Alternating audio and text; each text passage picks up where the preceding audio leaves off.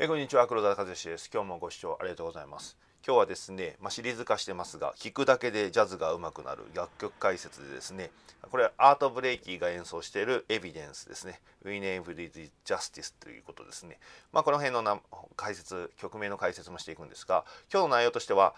まあ、作品 CD とライブ CD の違いですね、えー、よく最近リックリックって話がしてますがそれの、えー、まあちょっと勉強のためにもどういうアルバムを聴けばいいかなっていう話とエビデンスのまあ曲の由来ですね。これが面白いのでちょっと解説したいのと定番のドラムリックっていうのがあの最初に出てくるんですね。それを、えー、ご説明するのと、えピアノソロなのか、えなんだかよくわかんないけどドラムとの掛け合いなんかわかんないけどそこが面白くてまあこういうことをすると、まあ、バンドで決めてておくと普通のライブとはちょっと違う感じになるよというお話ですね。ではやっていきましょう。まあ、作品 CD っていうのはですね、まあ、ジャズはアドリブなんだけれどですね、まああのー、作品なのでこうもうだから他の人と違うことをやりたいスタンダードをやっってるとしても他の人と違うアレンジにしたいということですね全く他人と同じことをこうカバーするのではなくて自分たちのこのエッセンスをこう入れてちゃんと他の人がやらない形でこう演奏したいっていうのがやっぱ気持ちが表れがあってやっぱりこう有名な人だとこれが世界発売になって世界にこう問いかけることになるので、まあ、適当なライブをするんではなくてアドリブとかもある程度はもう決めてあるみたいな形になるんですね。そうするとリックってあんまり必要なくなるわけじゃないですかこう一つの作品になるのでなのでこうリックっていうのがあんまりこう出てこないことが多いんですね。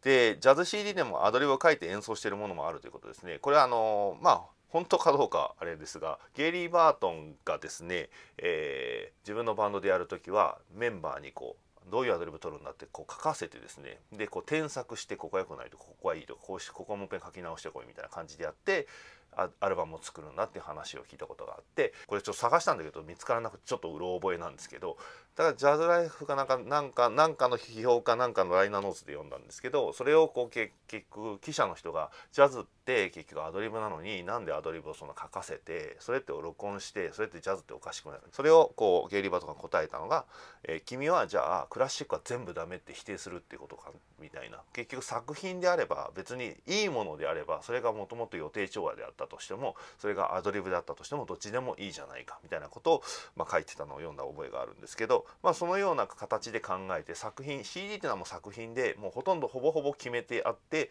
録音してるってことも多いのででだから作品 CD つまりレコーディングをしてる CD ですねスタジオでレコーディングしてる CD っていうのは比較的そういうこうリックっていうとかこう遊びの部分があんま出てこない部分が多いですね。はい、作品にするために通常やらないことをやったりするものが多いということなのでまあ作品だからこう通常のライブではまあできないような、まあ、ちょっとリハーサルしっかりして譜面に書いてあってこれをやろうとかあれをやろうとかみたいなことをやっぱやることが多いですね。マイルスの作品 CD はスタジオに入ってるんだけどあんなこうマラソンセッションみたいな形みたいにあのもうその CD の中に一回止めてですね違う違うみたいなブロックコードでやれみたいなことが入ってるようなそういう CD もありますね。だからマイルスはまちょっと特殊ですけどまあ一般のそのミュージシャンの場合は。でもまあこの当時ってねすごい作品をたくさん撮るみたいで全然こうなんかこうなんていうのもう一発撮りでバーって撮っちゃったらもうはいはいはいはいカットもう売れちゃうからオッケーオッケーみたいな感じでなんかもうメンバーも自分たちが決めるんじゃなくて寄せ集めのそのレーベルが集めてじゃあなんか曲適当にやってみたいな感じで作品にしちゃうことも多かったっていうのをねあの、えー、ようなことがありますがまあそういうこともあるんですが、まあ、とはいえ作品 CD の場合はどちらかというとかしこまった演奏をしてる感じですね。でライブ CD これ僕はあのやっぱ先輩に言われて、えーやっぱりそういうリックとか覚えるんだったらライブ CD とか聞いた方が生々しくていいよって言ってそうするとですね例えばスコット・ラファロっていうベースがいるんですけどこうビル・エヴァンスの時にはすごい抽象的なベース弾くんですけどスコット・ラファロってライブ CD とか他の管楽器の入ってるバンドでは非常にストレートなベースラインを弾くんですね。だからこうやっぱ作品としてやりたいからああいうやり方をやっていて、まあ、エヴァンスと相当こう話し合って俺こういうふうにしたいからこういうふうにしてこういう作品を作りたいっていうことをやってて、まあ、あの「Waltz for Debby」もえー、「Sunday at Village Vanguard」もあれもライブ CD なんかあれはちょっともうほとんどほぼほぼ作品 CD ですね。というわけでですね、えー、まあ、ライブ CD なのでまあ故に定番リックが多くなる要はまあなんかこう思いつかなかったらリックをして相手に喋らせて場が温まってから自分のフレーズをやるっていうようなことが多くなるのでそれをやっぱ覚えておく方が自分たちのライブでも非常に役に立つってことですね。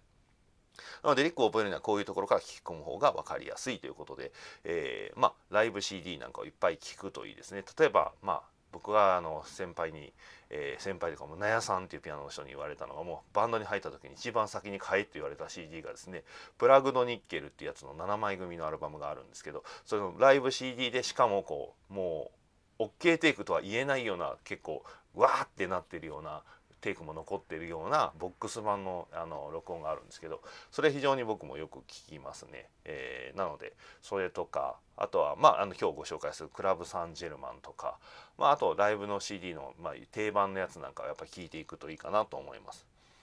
でこのクラブ・サンジェルマンっていうアルバムがあってこのクラブ・サンジェルマンっていうのはパリのライブハウスなんですけどそこでやってるもう要は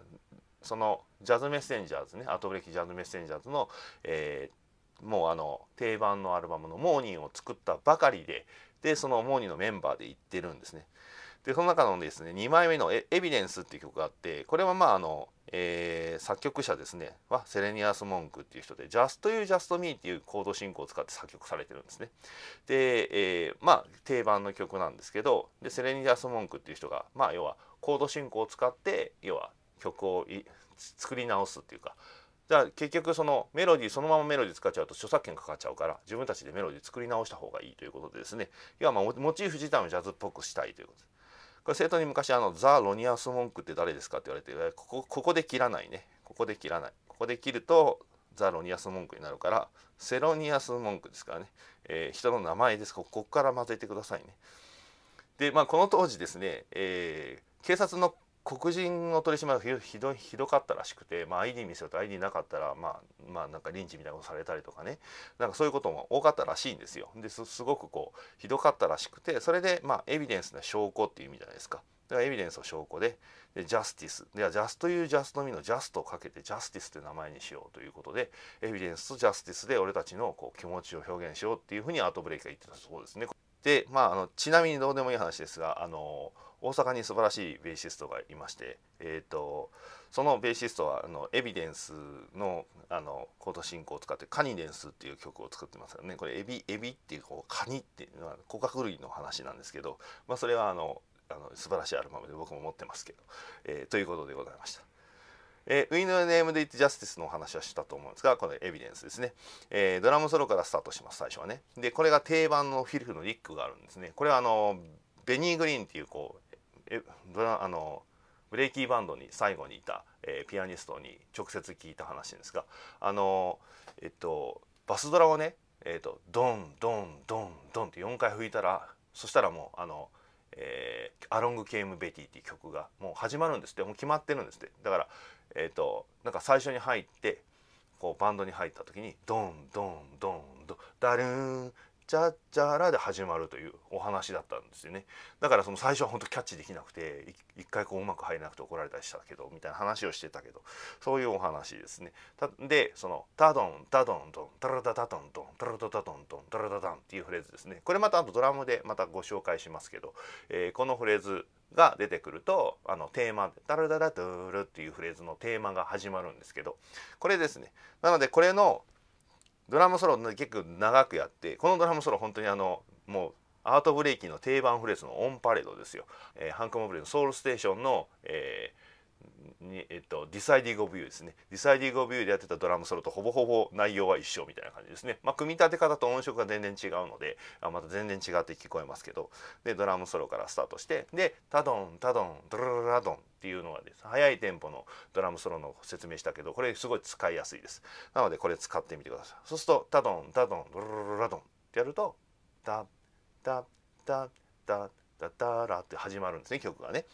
変わったリズムなんですね。これ文句ってそのリズムもハーモニーも変わったことをすごくした人なので。でこれ多分インテンポなのかな。よくわかんない。どう考えたっても数が合わないんでこれなんかこうみんなで息を合わせてたやってて。で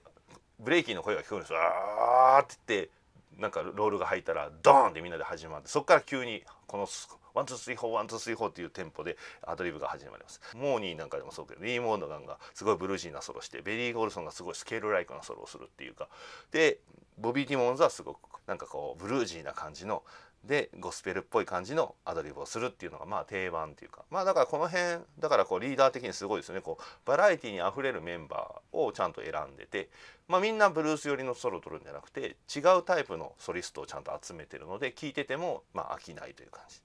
でボビー・ティモンズのソロはですねここではですねブレーキとの掛け合いしてるんですよ。でブレーキがずっとブラシでャーってやっててでピアノがジャッって弾いたらドラムがそれを一生懸命こう合わせるみたいなでずれたりとかしてお客さんが笑い出したりとかしてて、まあ、すごくそういうでそれが終わったらピアノがタッタタタラって弾いたらもうドラムソロになるんですね。これってすごいなと思ってそのなんかこう普通はみんなでアドリブ回していくんだけどもうそこのこの曲のもうピアノのソロはもうこれやろうぜみたいな感じでやってるんですね。アートブレイキーなんかはもう非常にこうアートブレイキージャズメッセンジャーズっていうのはあのえー、ショータのあの評伝の「プットプリンツ」ってあるあの本があるんですけどそこにも書いてありましたけどだから下着もまああのみんなお揃いででシャツもお揃いでみたいなでこうカフスもお揃いでソロ取った後にこうカフスがちらっと見えるようにこうエンターテインメントするっていうのがブレイキはすごいそのエンターテインメント的なことをものすごくちゃんとやったらしいんですね。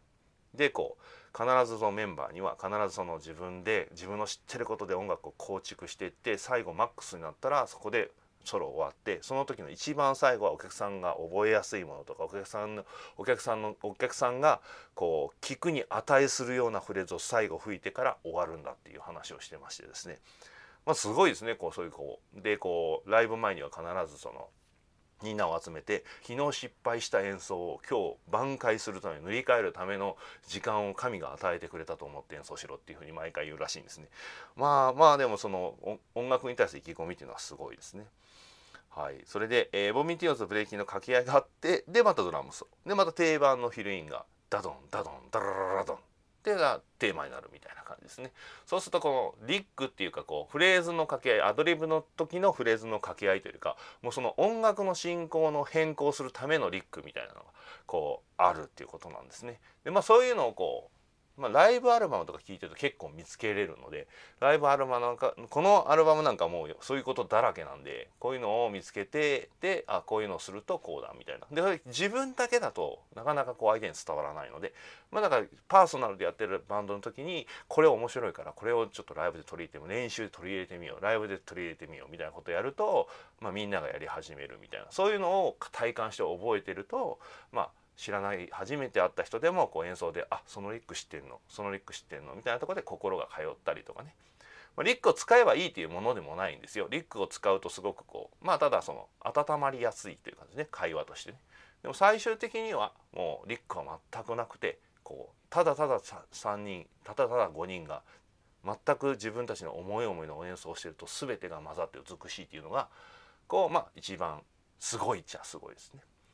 ただそのそういったものを、まあ、初対面でいきなりそれがねどういう風でわからないところでそんなことを知ってるわけにはいかないそんなことできるわけないんで「はじめまして」って言って5人で喋ってすっごい話題が面白くなるかって言ったらならないですよね。5人が好きなこと喋ってたら。じゃなくてまずはまあ定番のまあこれ鉄板だよなっていうネタを誰かが振っていってそれを受けて受けて受けてやってああそういうの好きって言ったらだんだんマニアックなとこで5人が一緒だなっていうことが分かってくるとだんだんだんだんもういちいちリックなんかをしなくなるっていう会話と一緒なのでそういったところをまあ、勉強していただければジャズって面白くなるしこれを知ってこういうふうなことを、まあ、このこのページの話の中を聞きながらこう考えながらこの下に貼ったリンクの曲を聴いてもらうとめちゃくちゃ面白いんじゃないかなというお話でございました。なので今日は聞くだけでジャズが上手くなる楽曲解説シリーズのエビデンスのご紹介でございました、えー、今日も最後までご視聴ありがとうございました。今日も最後までご視聴ありがとうございました。今日の動画があなたにとって面白いなとかためになったなと思われる方は、いいねボタンを押してください。チャンネル登録の方もよろしくお願いします。私のメールマガジンがありますので、詳細の欄から URL がありますから、そちらで紹介ページの方でぜひメールマガジンのご検討ください。毎日僕からメールが届きます。ジャズドラムのこととか、ジャズの歴史のこととか、心理学のことについて毎日動画とその解説をお送りしますので、よろしくお願いします。3大特典もついておりますのでぜひご検討ください。それでは今日は最後までご視聴ありがとうございました。黒田和義チャンネルでした。